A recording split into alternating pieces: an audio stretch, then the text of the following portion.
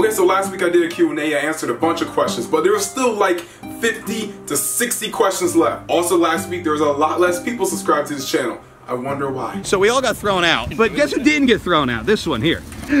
you know why? I'm black. On a serious note, before I get the video started, I really want to say thank you to everyone that came over and subscribed. Now the brand network Graham said to come over and subscribe, so it means a lot they still actually put forward that effort to search my name and watch the video, so I really appreciate it. The wrestling match is coming out tomorrow on Brandon's channel. Amazing. I whooped his and no! What do you think I was gonna do? Actually show the shop championship? I can't show that right now. Or I actually lost and I've been talking crap for the past week for literally no reason. You don't know, but I know. And uh, we'll see who the champ is after tomorrow. That shop title costs more than this belt. I got this from Walmart for like 15 bucks. It's just cheap plastic fine. Also ran a poll last week on Twitter asking people, do you guys want me to bring back the subscribe shirts? If you're coming from Brandon's channel and you watch my videos, you realize I say subscribe at the end of the video. That means subscribe. It's just my way of saying it. You know, subscribe. Say it with me now. Subscribe. It's a fun word. But last month I actually released some Squeeb shirts that look like this. Yeah, it's a Supreme logo. What's wrong with parodies? At least about like 15 more of these. So if you want one, there's a link down in the description. Again, last week I asked you guys put all your questions down below and on Twitter and on Instagram. And there was at least a hundred and 17 questions, I think. If John Cena joined the Bullet Club, what would you do? Mark the hell out. Would you rather watch Raw or SmackDown live? Most of my favorite superstars are on SmackDown, but Raw has actually been putting on a better show the past couple weeks. Raw has been like consistent with it the past couple weeks, so I'm gonna have to go with Raw. What's your favorite WWE moment ever? I'm only gonna use stuff that I've seen on television or in person myself. Not necessarily something that happened before I was a wrestling fan. It's more authentic when you see it happen or actually happen live rather than just watching it on YouTube. It has to be like Mania 25 with Undertaker and Shawn Michaels or maybe Punk's pipe bomb. What's your favorite wrestling slash WWE show that you've been to? I feel like I already answered this, but the show that always comes to mind is either WWE Battleground 2016, not 17. 17 was good being there in person from what everyone else says. It sucked. Or Death Before Dishonor Ring of Honor, I believe 2015, 16. 2015. The main event was Jay Lethal versus Roderick Strong, a 60 minute Iron Man match.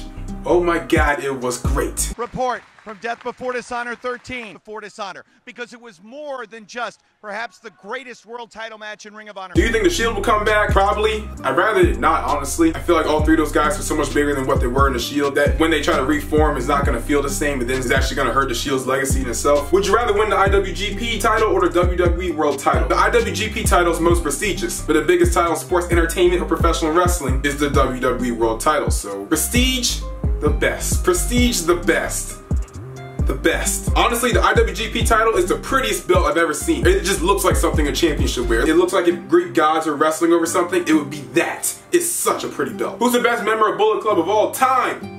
Tama Tonga. Would you rather have CM Punk or Cody Rhodes return to WWE? I like what Cody Rhodes is doing in the Bullet Club right now, so I'm gonna say CM Punk. Would you rather have a million subscribers on YouTube or be a WWE superstar? WWE superstar. You can be a superstar, maybe you're done with wrestling. You can start YouTube, you're famous, you could probably get a million subscribers pretty quick. Well, maybe not famous, but you know what I mean. Well known. How many wrestling shows have you been to?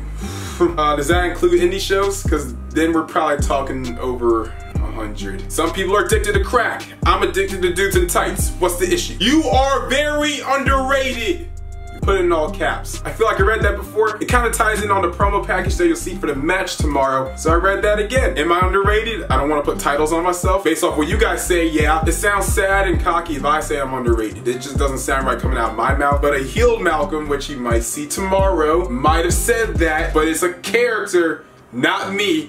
I'm not that kind of person. Which Royal Rumble's been your favorite? I feel like I've answered that one too but in case I didn't, 2010. How many pounds can you powerlift so far? It's somewhere in the 1200s, maybe 1300s. I'm pretty sure it's in 12s though. I really have no idea which questions I did and did not answer. I'm just gonna scroll around until I see something I feel like I haven't said. Do you think you'll always do wrestling related content? Yeah, why change what isn't broke? Do you think WWE will cut the quarter on the cruiserweight slash 205 division and let the guys go to the main roster?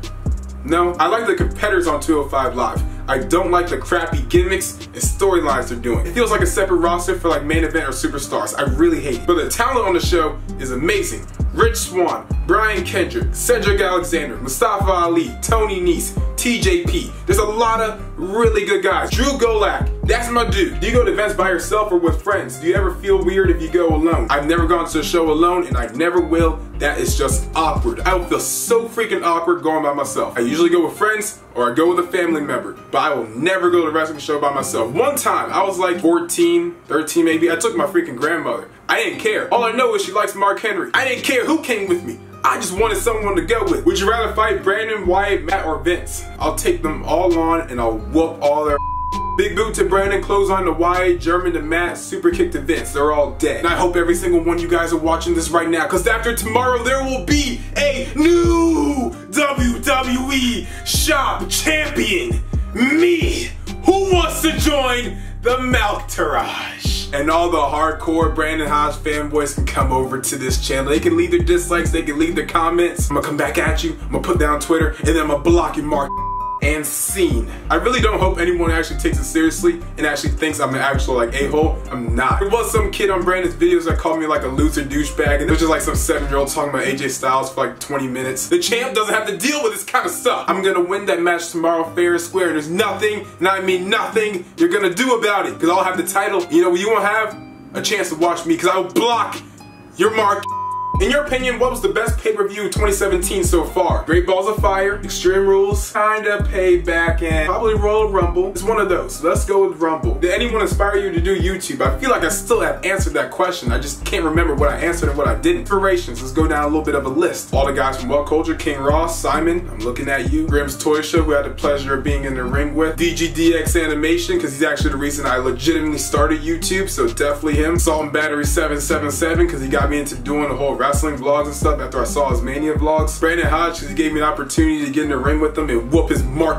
I keep talking about this match tomorrow. It must be really good. Guess you're gonna have to go watch it tomorrow at 5 or 5.30 p.m. Eastern Standard Time. For all you guys know, I could just be talking right now just so you guys go watch me lose tomorrow. Or I could be telling you guys to go watch to watch me win tomorrow. You don't know. What do you think about the return of Shelton Benjamin? Somebody said I look like him. I just don't. I think it's really gonna add some fuel to the fire of the mid-card on SmackDown. There's a lot of good guys outside of just Kevin Owens and AJ Styles. I mean, you have Tye Dillinger, you have Sami Zayn, you have Mike Kanellis, who's slowly getting a somewhat mid-card push of Aiden English. He's very good as well. You had Chad Gable and other guys. Who's the best wrestler in the world? Okada, Styles, or Omega? Hey, that's a that's a difficult. That is a very oof.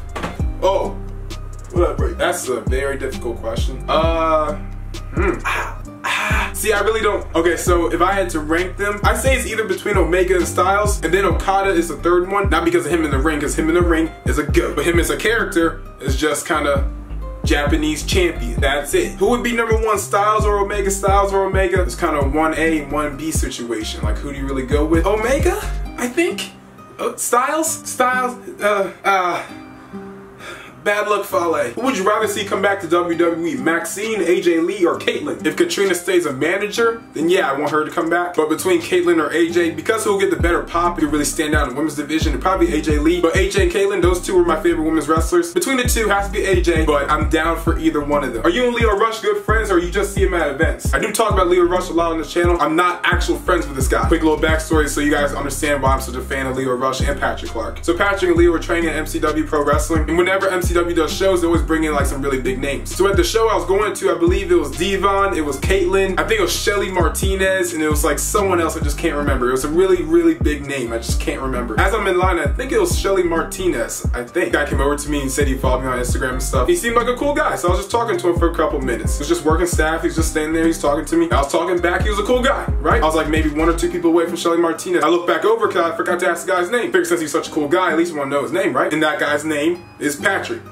Patrick Clark, Velveteen Dream. Eventually, once he debuted and I saw him and Lio Rush together, I talked to him as well. Really cool guy. Naturally, you just become a fan of these guys. Patrick went off and did his tough enough thing. Lio Rush stayed at MCW, stayed on independent, still grinding. Patrick made the NXT, Patrick's doing big things. Lio Rush is still on independent, still doing his thing, still grinding. Gets his opportunities in Ring of Honor, he gets his opportunities in CZW. I was already a fan of the guy. I just kept following everything that he did. I realized how freaking good this guy really is. Reasons why he's probably one of the newest signees for NXT. I am my good friends with him. I seen him in the gym one time. That was like two years ago. I think he lives down in Florida now. But am I legitimate friends with this guy? No, just a really big supporter. Where did you get the idea of being a YouTuber? What did your parents think? Any advice to people that want to start a channel? Parents were pretty open about it. I was like 13, kind of shy. They really didn't talk to that many people. I didn't break out being shy until I was like 15. That's when I just started talking just to talk. They thought it was something good for me to do since I really wasn't doing anything. I was just quiet, not like stupid. I get straight A's. Yeah, they just thought it was something cool for me to do since I really wasn't doing much. I didn't really like talking to people all that much. Advice for people that want to start a channel, make sure you have an idea of what you really want to do. It takes time, it takes effort, but you know, what doesn't take time and effort? Hey, black people funny.